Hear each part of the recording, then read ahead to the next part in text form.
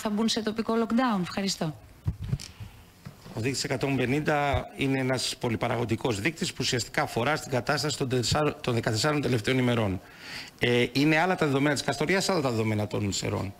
Ε, στις ΣΕΡΕΣ ε, το τελευταία 2-24 ώρα υπάρχει μια επιδημιολογική πίεση επιβάρυνση, ενώ στην Καστοριά υπάρχει μια επιθετική έξαρση τα τελευταία 24 ώρα, την οποία την παρατηρούμε.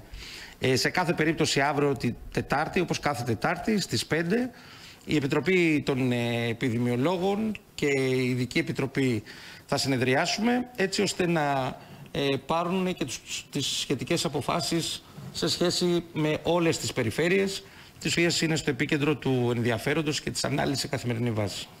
Τώρα, σε σχέση με την ε, Αττική, ε, δεν θα μπω σε συγκεκριμένες γειτονιές και ε, μου κάνει εντύπωση έτσι πολύ εξειδίκευση, δηλαδή το Σύνταγμα, ε, δεν ξέρω πώς προκύπτει όλο αυτό. Αυτό που είναι το πολύ σημαντικό είναι το εξής, ότι ο κεντρικός τομέας είναι επιβαρημένος και από εκεί και πέρα ε, σε σταθερή κατάσταση βρίσκεται και ο δυτικός τομέας, η Δυτική Αθήνα δηλαδή, που παρουσίασε μια ε, έξαρση κρουσμάτων. Όμως αυτή τη στιγμή η Αττική είναι σε σταθερή κατάσταση.